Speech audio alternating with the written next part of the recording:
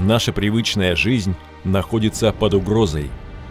Климатические изменения набирают обороты, проявляясь все более масштабными и аномальными катаклизмами.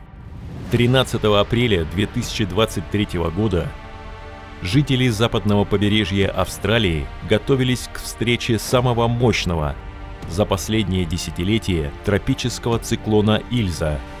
Он обрушился на сушу, установив рекорд устойчивой скорости ветра 218 км в час, а его порывы достигали 260 км в час. К счастью, циклон обошел стороной большинство крупных населенных пунктов, но те поселения, которые встретились на его пути, были основательно разрушены. К счастью, мы выжили. Мы спрятались в доме у дороги, но крыша начала рушиться, и нам пришлось бежать. Как будто шрапнель летела повсюду.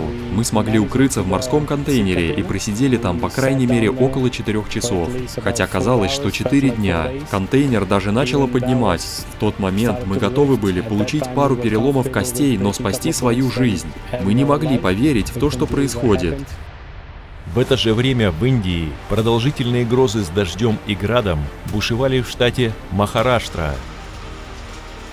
Больше всего пострадали южные и западные части города Пуна.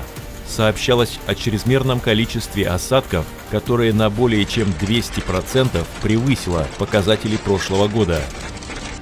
Также в середине апреля от сильных градовых штормов и последовавших вслед за ними наводнений в очередной раз пострадали многие провинции Саудовской Аравии.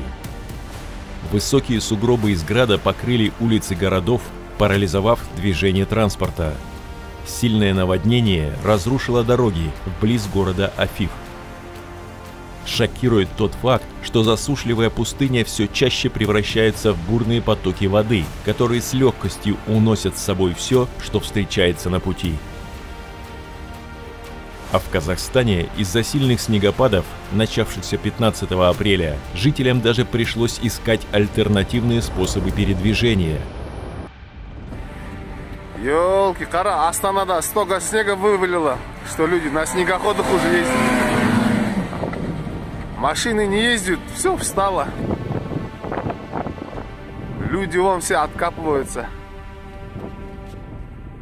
Ужас, ужас. На столицу страны за три дня обрушилось полторы месячных нормы осадков. За сутки в Астане из-за непогоды произошло более 140 дорожно-транспортных происшествий –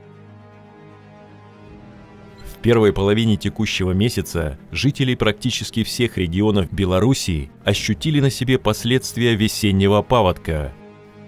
На отдельных участках рек уровень воды превысил критическую отметку. Активнее всего стихия разбушевалась в Гомельской области из-за разлива реки Сош. Местами улицы затопило настолько, что люди были вынуждены передвигаться на лодках – Климат ежедневно губит жизни людей, а подходы к спасению, несмотря на развитые технологии, не меняются годами. А ведь сейчас существуют технологии, позволяющие эффективно оказывать помощь в чрезвычайных ситуациях. Однако они не внедряются повсеместно, потому что в современном потребительском обществе на первом месте деньги – но разве может идти речь о какой-либо выгоде, когда вопрос стоит о спасении жизни человека? Противостоять столь глобальной угрозе возможно лишь сообща. 22 апреля 2023 года весь мир объединился на онлайн-форуме «Глобальный кризис. Выход есть». Расскажи об этом событии всем – Наше будущее зависит от тебя –